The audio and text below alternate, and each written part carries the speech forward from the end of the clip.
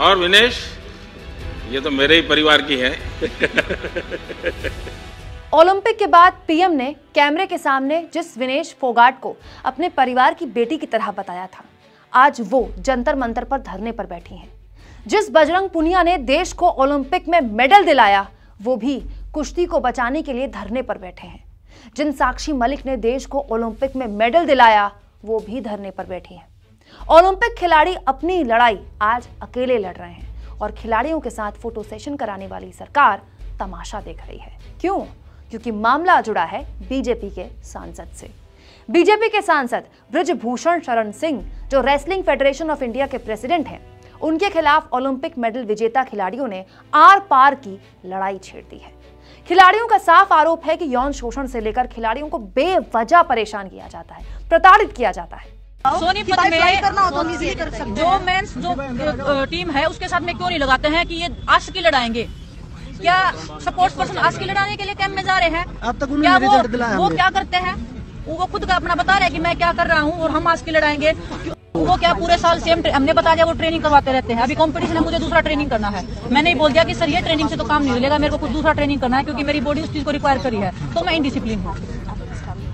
किसी एथलीट को इंजरी हो रखा है उसने बोल दिया कि सर मैं आज मैट पे ट्रेनिंग नहीं करूँगी क्योंकि मेरे को इंजरी है मेरे को बड़ी इंजरी करवा के ऑपरेशन नहीं करवाना तो वो इनडिसिप्लिन है।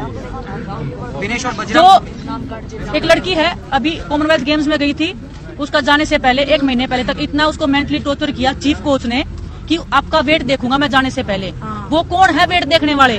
दोस्तों महिला खिलाड़ी कुश्ती संघ के अध्यक्ष ब्रजभूषण शरण सिंह जो कि बीजेपी के सांसद हैं उन पर गंभीर आरोप लगा रही हैं। तो ओलंपिक मेडल विजेता बजरंग पुनिया भी कुश्ती को बचाने के लिए देश भर के पहलवानों को साथ आने की अपील कर रहे हैं। मैं आप सभी से निवेदन करता हूँ जो कुश्ती जगत से हैं कोचिज हैं हमारे गुरु हैं खलीफा हैं और हमारे पहलवान हैं ये हमारे गेम को बचाने की लड़ाई है। इसमें आप हमारे साथ खड़े हुए और जो अ, हमारे प्रेसिडेंट साहब बोल रहे हैं कि ये तो तीन ही परसेंट है। सतानवे परसेंट तो मेरे साथ है।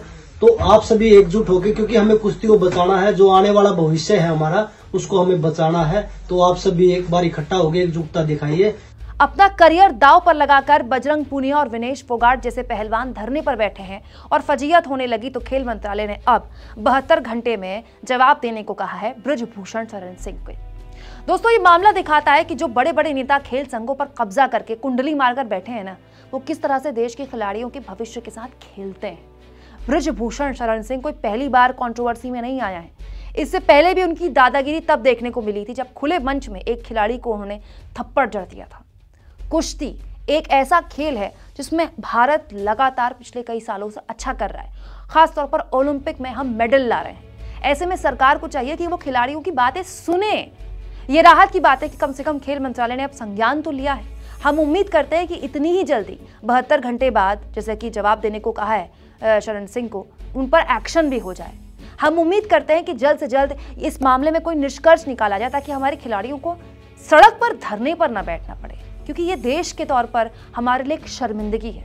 आप इस मुद्दे पर क्या सोचते हैं दोस्तों? कमेंट बॉक्स पर अपनी राय ज़रूर दें। चैनल को ज्वाइन भी करें और सब्सक्राइब भी।